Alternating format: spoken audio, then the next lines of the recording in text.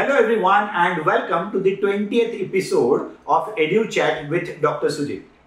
I feel so happy and so excited all the time every time I make a video for EduChat simply because it helps to give me answers and solutions to your questions and the difficulty you face in your day-to-day practice. And I'm sure you enjoy the EduChat series as well. If you're someone who has not yet asked a question or if your question is not yet selected in the EduChat, then I want you to keep on asking good questions which will be helpful, the answers of which will be helpful to a big audience or majority of the practicing dentists. Keep on asking your questions because your questions will be selected if it is useful for the majority, right? And in this episode, I'm going to answer three questions and you know that we pick the question of the week every single time we do the EduChat. And the best question is going to receive the copy of my international bestseller book, New Age Dentalpreneur, absolutely complimentary. Okay, so today the voice of question behind the camera is Sonal, and Sonal is going to ask the questions today. So let's start with the 20th episode of EduChat with Dr. Sujit. So Sonal, what's the first question? Dr. Ragini asked, what are the things one should keep in mind while searching for clinic location? Well, Dr. Ragini, uh, first of all, congratulations. Probably you're about to start the new practice and uh, may you have the great, wonderful career as a practicing dentist. Now, coming to how to select the right locations for the clinic, what are the things to consider?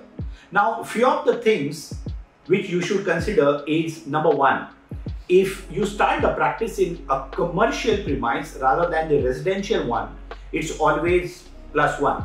Okay, I understand it becomes very difficult, especially in the urban areas, in the metro cities, for you to find the ideal place. Okay, but if possible, try to be in the commercial area rather than the residential area. That's step number one. Number two, if your place has visibility, that is again a big plus. Because see what is seen constantly what is there in front of eyes of your potential patients or prospects that's always a big plus right? So visibility if there is visibility then wow. If your clinic is not exactly visible but then if you have the provision or if you can make the provision of putting a signage or create visibility for your practice then that will be a wonderful thing. The third is accessibility. These two are different things. Remember, okay? It should be very easily accessible to the patient. They should be able to walk, they should be able to drive, they should be able to park their vehicle. So it might sound very uh, simple or silly, but let me tell you, parking is a very, very big problem. And not just in the metro cities, even in the smaller cities. I hope you understand what I'm saying.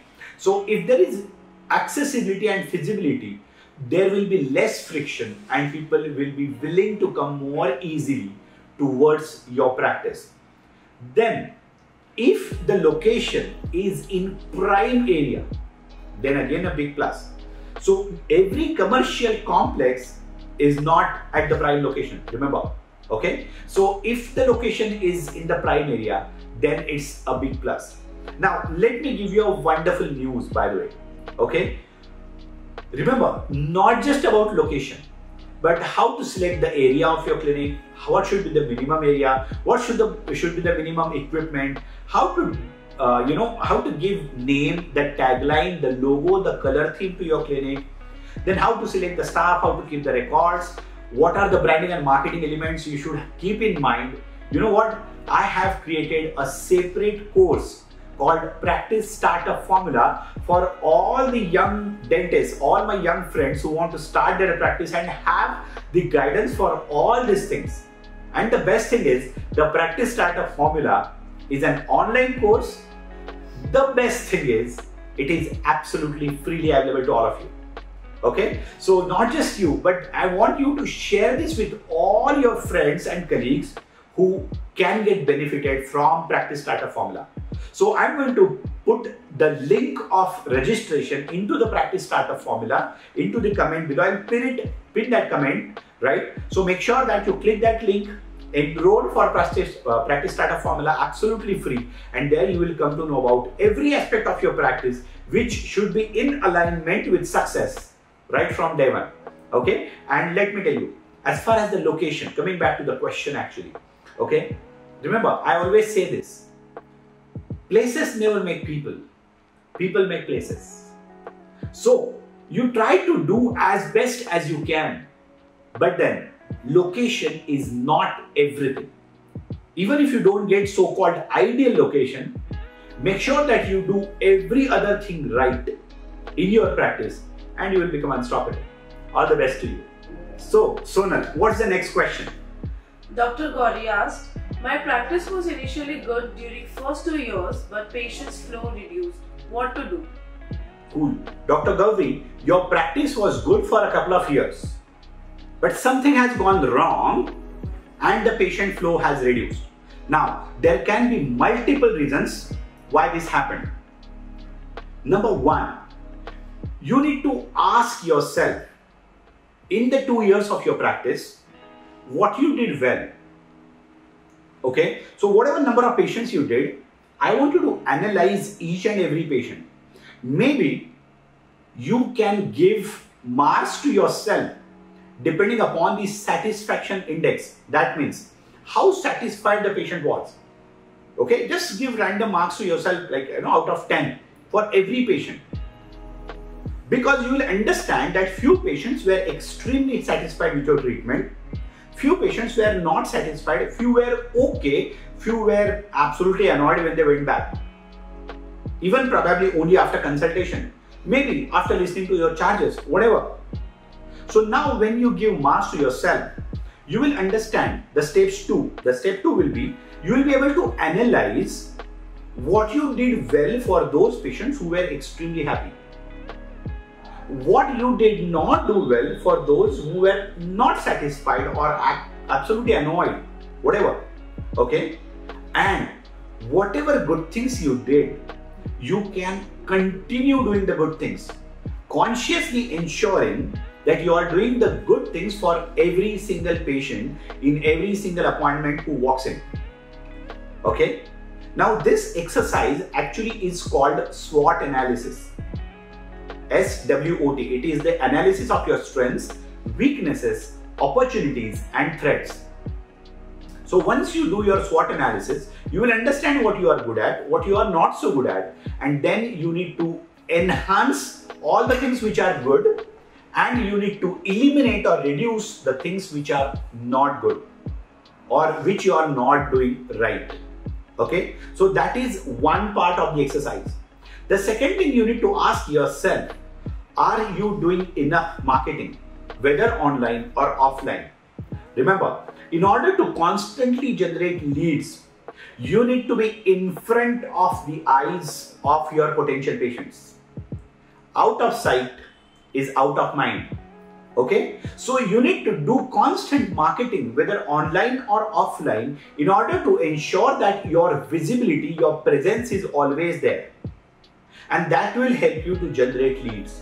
And number three, keep on upgrading yourself all the time, not just in clinical skills, but most importantly, your communication, your presentation, your management skill with all honesty, this is what I think is the pain point.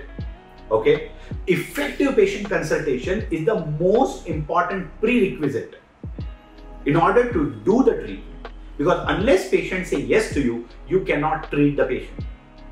So you need to learn the art and science of effective and magnetic patient consultation, presentation during and after the treatment, and even before the treatment, management about your appointments, your staff, yourself, your time, patients, everything. Now, when you work on all these factors, you will be amazed to see your practice taking a new level very soon. Okay, so if you don't know, I have a very powerful online community.